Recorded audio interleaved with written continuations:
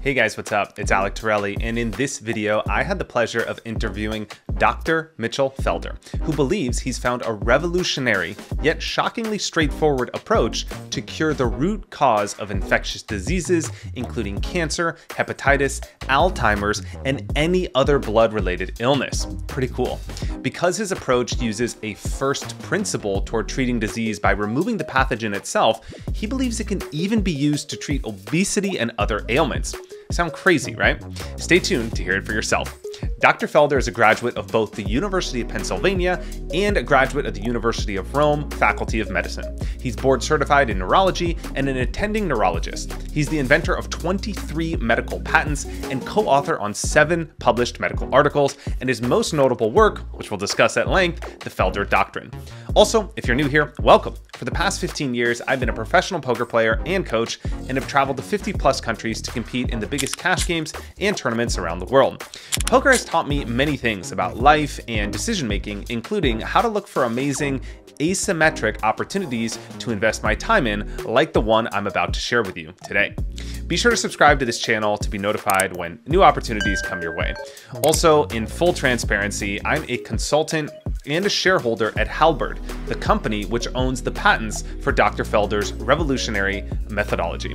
One of my goals with this video is really to just raise awareness about what we're doing at Halberd in hopes to find people that can help us uh, further our mission to eradicate infectious diseases worldwide. We're looking for financial and marketing help, so if you or someone you know could assist, my contact details are in the description. Please get in touch with me directly and I'll get back to you. Lastly, Halberd is a publicly traded company which operates under the ticker symbol HALB, H-A-L-B. Nothing discussed in this video is financial advice, but for educational purposes only. You are responsible for all the investments you make, do your own research before making any bets, and know that investing in any startup is very risky, most lose all their money, and remember that I'm just some poker player on the internet. Got it? Cool. Now I introduce to you Dr. Felder. Dr. Felder, thanks for being here. Thank you for having me. It's a real honor. Awesome. So, talk to me about your vision for the world and some of the things you'd like to see happen in your lifetime with some of the things you're currently working on. I'd like to see us curing cancer, curing all infectious diseases, slowing the aging process. And I think that's actually possible yeah, and I'm excited to get into how that's going to happen. And that's amazing and something I think we can all get behind. And that's largely what drew me into Halberd, frankly, is this massive asymmetry, both in its mission to truly change the world. And frankly, not many companies can say that, but also as an investor. I mean, the risk reward is just phenomenal because if we can pull this off and really cure the root cause of infectious disease, the rewards are going to be truly incredible. So Halberd really does check all the boxes for me. You know, people that follow me know that I'm big into decision making, especially as it relates to taking calculated risks with my poker background, of course. So I'd be curious to know how did you come to the decision to dedicate your life to curing infectious diseases, something that many people still believe is impossible, right? So perhaps you can bring us up to speed on how you got involved with Halberd and what you do there. Well, I'm an attending neurologist. I was a resident in neurology at St. Vincent's Hospital in New York, where I was chief resident. And certainly, as a practicing neurologist, I've seen many, many people either die or have severe morbidity, mortality from infectious diseases. And I came up with the Felder Doctrine, which in one sentence explains how to cure almost any disease, including cancer. And that one sentence is physically remove the pathophysiologic basis of the disease. So if one, instead of treating symptoms or blocking proteins or etc., if one could actually physically remove and slash or eradicate the causation of disease, one can beat it. And that's an amazing concept. Yeah, and that is amazing. And I want to get more into the Felder doctrine and exactly how it works, but it makes sense as a first principle, right? Like you have something in the body that's not supposed to be there. So why would you add more of a foreign substance with known side effects to the body as a cure for that uh, ailment, right? Doesn't it only make sense to go into the body and remove what it should be there as like a first principle approach towards uh, this cure. So it sounds so simple. It makes so much sense to me. And uh, that's why I love this elegant solution. So, uh, like I said, it sounds simple and it's an elegant solution, but of course, not simple to implement. But my question is, you know, how come nobody's thought of this before? And why is there so much resistance to this idea? Well, I think most the medical profession is very, very conservative and they want to see things completely proven until they start even minimally believing anything. And this is somewhat like the Manhattan Project that, you know, you started out with an equation n equals mc squared, and that can equal an atom bomb. But then building a bomb and implementing it took the entire Manhattan Project, which took $3 billion in 1940s money and many tens of thousands of workers and scientists. But this is an incredibly exciting concept in that it can easily beat just about any possible infectious disease, and it could beat cancer and Alzheimer's disease, and I believe it could even slow aging. Let's review with the Felder doctrine physically remove the pathophysiologic basis of the disease. So let's say, for example, somebody has septicemia, which is kills 300,000 people a year in the United States. What is septicemia? Fancy word for bacteria in the blood. Somebody cuts their foot and then they get a severe fever and then they start having shutdown of their kidneys, their liver, it goes to the brain, etc., and kills them rather rapidly. I came up with the idea that okay, great. If you could have take the blood and use a sort of dialysis process and use a monoclonal antibody which attaches to the bacteria that is killing the person and then irradiate it with either a laser or radio frequency, you've eradicated it, you've killed it. Now, what's exciting about that? First of all, uh, and we've successfully done this with Youngstown State University and Professor Sturris and his physics department. And we've done this in test tubes so far. That's a very exciting concept because if you think about it, there's no such thing as an a uh, infection that could ever have resistance. Can't have resistance to a laser. So you could kill tuberculosis, you could kill any amoeba, staphylococcus streptococcus. Why not kill COVID 19 virus? There's nothing you can't kill. And what we've done so far, I call the Kitty Hawk level, is the Kitty Hawk flight in 1903 with the Wright brothers showed that yes, you could have a heavier than air machine contraption that could fly. And that contraption which was made by two bicycle manufacturers, flew a grand total of 120 feet at 40 miles per hour. But that same concept then led to the space shuttle, to uh, voyages to Mars, to everything. So once you've implemented this successfully, which we have done at Youngstown State University with Professor Sturris and the terrific help of Professor Chen from Arizona State University, who's brilliant at making antibodies, proprietary antibodies. There's really nothing that you can't kill, eradicate with this methodology. And you can either do it in spinal fluid against um, neurodegenerative diseases such as Alzheimer's disease, uh, etc. Or you could do it against infectious diseases in the blood. And all you have to do is look at the pathophysiologic basis of any disease, and that then gives you a roadmap to cure the disease. So, for example, with cancer, and I have a YouTube video that goes into this, one would get eradicate tumor growth factor. Now, you don't have to go to medical school to know, gee, I've got cancer and I've got something called tumor growth factor, which causes what? Tumor growth. Okay, great. So you have this antibody with a metallic moiety attached, which then attaches to it and then eradicates it with a laser. And it does this outside the body. The other terrific thing, and there's so many angles from this that are terrific, is that there can never, you're not adding anything to the body. You're just physically eradicating and removing that which is causing the disease. And you could do, for example, five cc's of blood. I mean, and did this work out correctly? So if you did five cc's of blood and the whole system wasn't working very well, you could shut it down immediately. I probably lost more than five cc's of blood making dinner the other night when I cut my finger.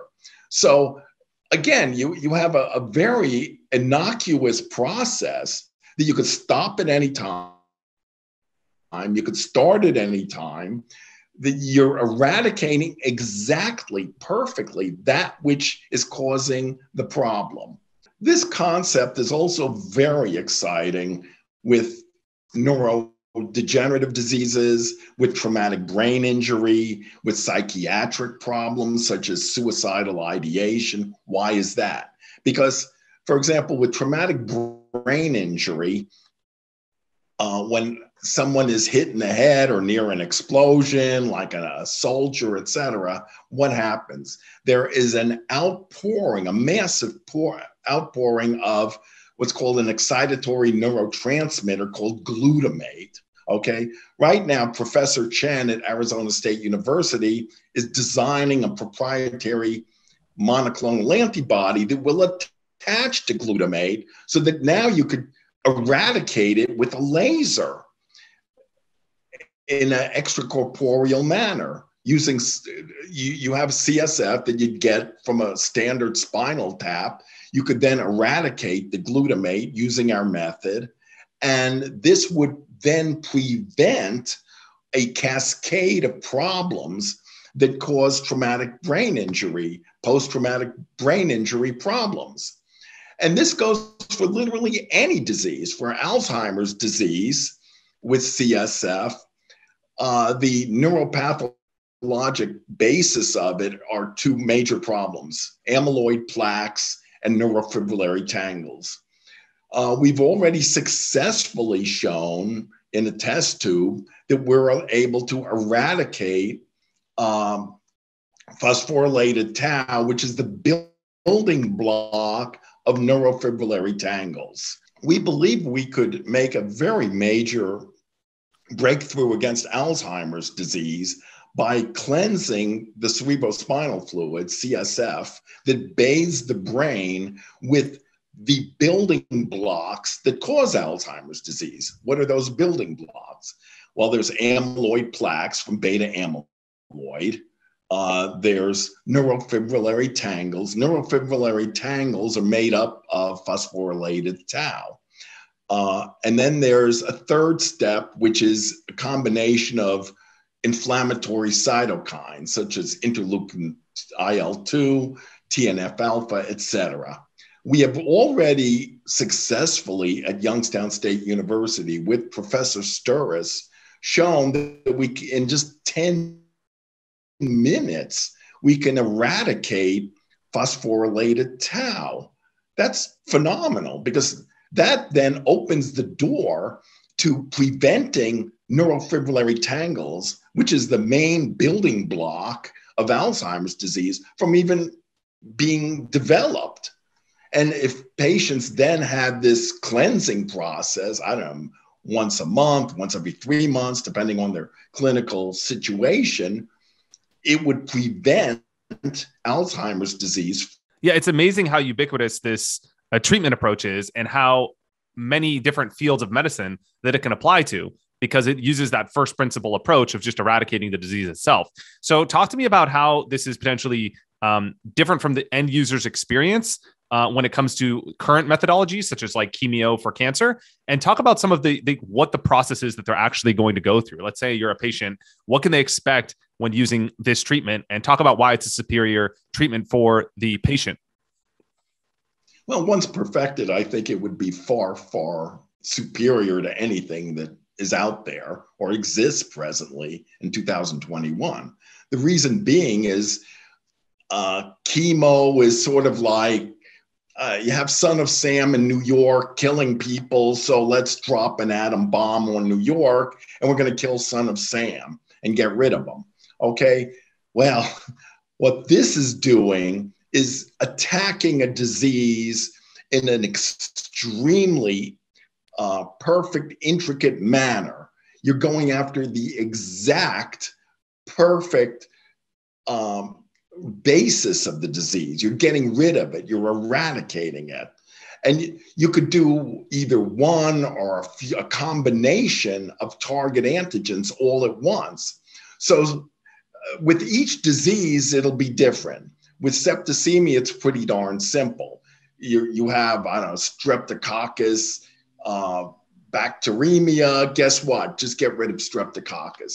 Cancer is obviously much, much, much more complicated.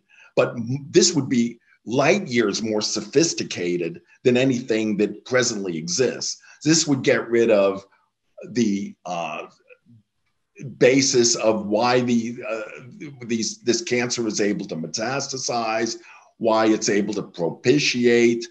Uh, it gets rid of everything, and it can get rid of combinations of those. Even more exciting, it has the potential for uh, controlling the immune system to eradicate the cancer. I like to call this God's method of curing cancer. What I mean by that is every oncologist knows or has seen cases of patients with very advanced cancer that they didn't think the patient would live 10 minutes and yet survived, left the hospital, and lived for many years.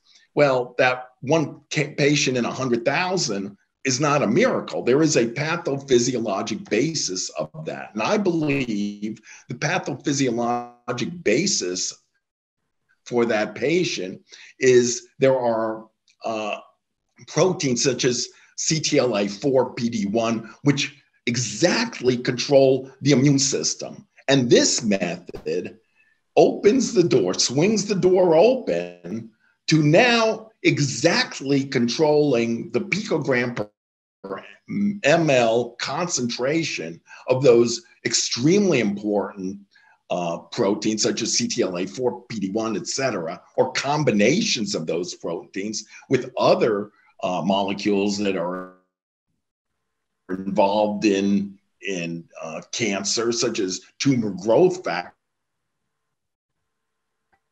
et cetera, that then, and that would probably be able to beat any cancer. Uh, this will require extremely advanced computers, possibly quantum computers, because it's almost like trying to control the weather uh, in a very complicated process. But I, I think it is doable. And at the very least, we could start with single target antigens. For example, glutamate has been shown to uh, increase uh, the growth and metastasis, et cetera, of glioblastoma multiforme. And glutamate is also involved, of course, in traumatic brain injury.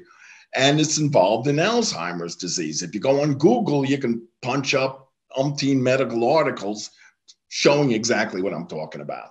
So once Professor Chen comes up with a proprietary antibody with a metallic moiety attached to it, and a little teeny uh, metal attached to the, the antibody, which attaches to glutamate, you then take the spinal fluid, you then irradiate it with a laser or radio frequency to eradicate it. You eradicate it in the exact perfect concentrations that will cure the patient and then you put it back and that that is going to be 21st century medicine i believe this is going to be at some point done completely by robots and computers.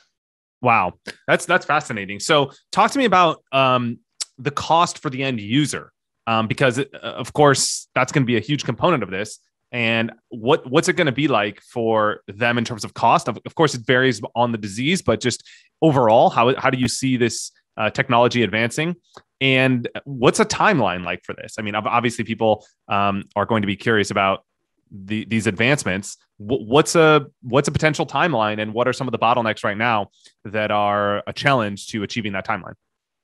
Well, the timeline is, as I said, it's the Manhattan Project. And right now, we don't have that many people involved, and we're a small company. But we are looking for uh, the US government, for the US Army, for very major corporations to come in and help run with the ball.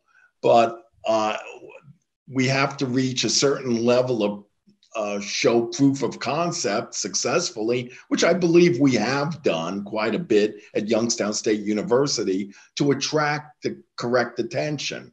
At which point, I believe this could then massively speed up and we could start going after one uh, disease after the other.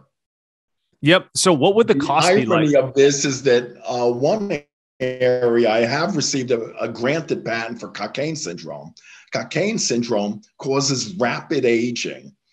Uh, there's a lot of billionaires out there who have everything on planet Earth, but then they don't have one thing. They can't live forever, and they'd like to, as I'm sure plenty of people. So I'm hoping that that will attract a lot of attention. That uh, the fact that I've been granted this patent for Cockayne syndrome, um, which can also be linked into helping beat Alzheimer's disease, etc., and other neurodegenerative correct attention that could very, very much speed up what we're doing.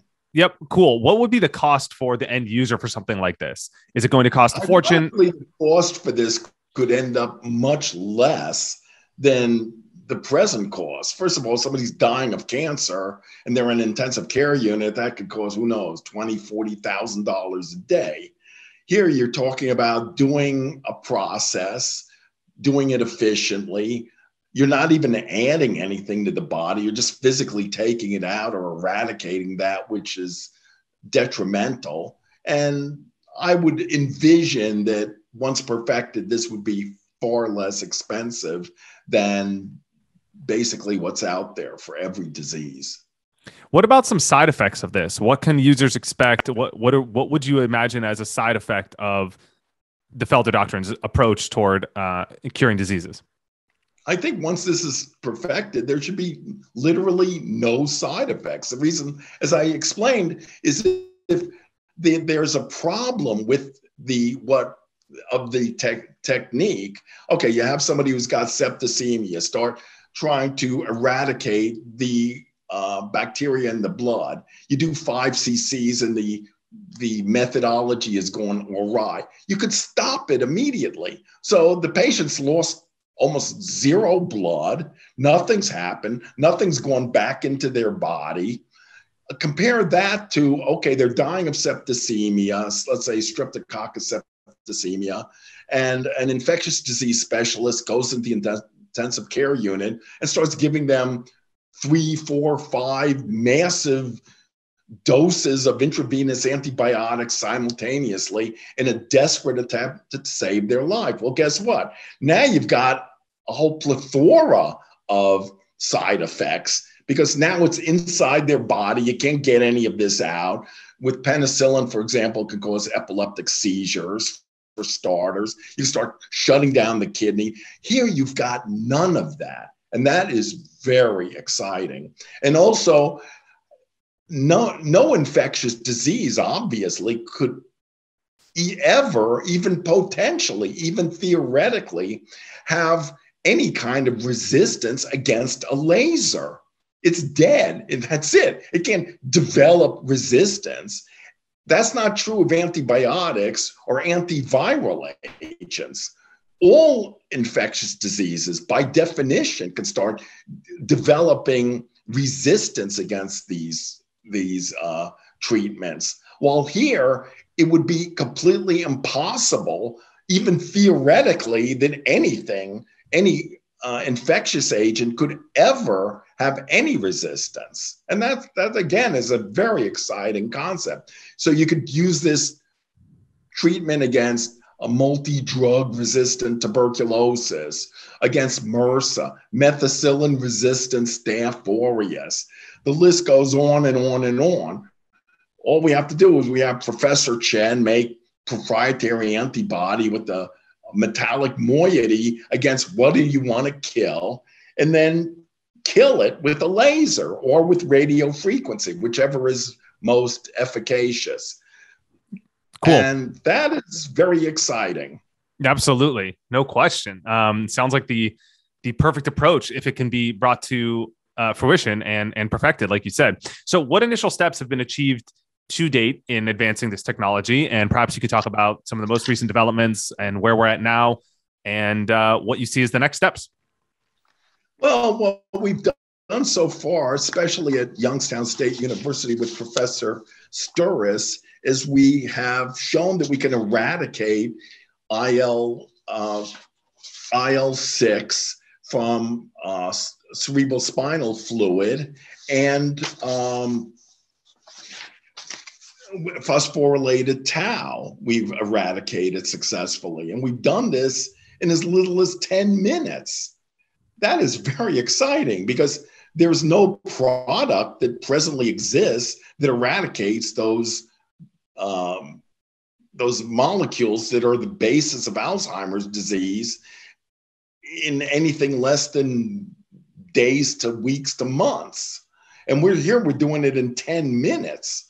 Now, obviously, again, it's we've done the Kitty Hawk flight, which is, you know, the, the contraption went uh, 120 feet at 40 miles an hour. And it's like, you know, we haven't flown people to Europe back and forth. But obviously, you know, after the Wright brothers did make that flight, with improvements and further steps, one could obviously um, get to that point quickly. And that, of course, will depend on how much funds Halberd gets and who our partners are that we are now presently looking to and talking to. Cool. So it seems like one of the biggest challenges with this, uh, I like to think of things from a marketing perspective. I mean, it's such a big idea that you know uh, your your approach can eradicate disease that it almost seems like a tough sell. But then on the other hand, if you know someone's a VC, uh, they like that asymmetric upside because that's what they're looking for. Um, but can you talk a little bit about the marketing challenges for uh, the Felder doctrine and why why hasn't this gotten more mainstream attention? Like it seems like you know anyone that like you said a billionaire dying of uh, everyone's dying right? Just a matter of at what pace. But if you're a billionaire yeah. you're probably in your 50s maybe your 60s um, what else are you going to bet on aside from trying to extend your life? You have everything. You can buy everything you don't have. But why aren't people uh, why hasn't this gotten more attention i guess is is is my uh, my thought. It hasn't gotten more attention because nobody ever heard of us. Nobody ever heard of of Dr. Mitchell Felder. Nobody, very few people have heard of Halberd. Uh, we're located in Western Pennsylvania around the Rust Belt. And it's like, hi, uh, everybody, we believe we could cure cancer, cure Alzheimer's disease, cure just about any infectious disease. It's like, yeah, right. I mean, until you have definitively proven it, it's like, people say, okay, uh, uh, Professor Einstein, why don't you, this E equals MC squared, it all fits together. Why don't you build an atom bomb in your backyard, blow it up, and now we kind of believe you. That's sort of the situation we're constantly in. It's like, oh, why don't you do this in animals? And then, um, and then now we believe you. But it's a kind of a situation where we're afraid we'll start getting help at the exact moment we don't need the help. Right now, we obviously use some help. Yeah, it's a little bit of a chicken and the egg, right? Like at the point yeah, in which exactly. you could definitively prove you can successfully do this in a monkey, you're already so far along your journey that to go from like like you had used the analogy with the Wright brothers, uh, which is a great story by the way. Um, but if you have taken a flight and you've already flown around the U.S., you know, flying to Europe and back, or, or you know, across the world, isn't that much of a, a, leap. The leap is going from zero to one, as as you know, Peter Thiel says, like going from zero flight to flying off the ground, and that's where you need the most help. But that's also where people doubt the belief and the possibility the most because it's such a paradigm shift. It's such a, a, revolutionary idea and it has such large implications that it's just so easy to say, well, that can't be done because it's never been done. But everything in life can't be done until it's been done, right? Like every every breakthrough has never happened until it's happened. And so there's always that 0 to 1 process where the people that are involved take the most risk, they get the most upside, but there's also the most uh that's the biggest challenge around that subject in that phase. And that sounds like, Dr. Felder, where you guys are at right now, where you're at that inception moment where you've had these incremental uh, process, these incremental breakthroughs. But to really get to that next level requires a lot of attention, um, funding, partnerships, and manpower to accelerate your journey. But at the same time, it's the hardest point to get that manpower because you have the least to show for it. Does that sound like kind of where you're at? That's it. You hit the nail on the head. Uh, I do say that people should keep in mind that you know we're not a bunch of you know gas station attendants running around saying gee i think we can cure cancer i mean we have arizona state university the brilliant brilliant professor chen and youngstown state university the top professor at the school uh, professor Storace so again, we have quite a few people already that are working on this process, but our manpower right now is very, very, very small. And as I said, this is literally the Manhattan Project. And the Manhattan Project, you know, as I said, took tens of thousands of people and hundreds and hundreds of scientists, some of whom had won the Nobel Prize. So we're a small group right now, but we hope to get bigger and massively accelerate this process. Nope, that's why we're here. So thank you guys. Uh, thank you for your time, Dr. Felder. I really appreciate this. If you guys have questions, be sure to leave them in the description below, and uh, perhaps we'll do a follow up, an open Q and A or something like that if we get enough questions around this subject. So thank you for your time today. Thank you. I very much appreciate you having me at your program. Thank you for your attention and letting us share our vision of how we can help eradicate infectious diseases worldwide. As I mentioned at the start, my goal with this is to raise awareness in hopes to find people who can help us further our mission. There are many ways you can help, from financial to marketing. If you or someone you know is looking for an asymmetric opportunity with the potential to impact millions of lives, please get in touch with me directly through the contact info in the description. I'm Alec Torelli. Thanks again, and I'll see you in the next one.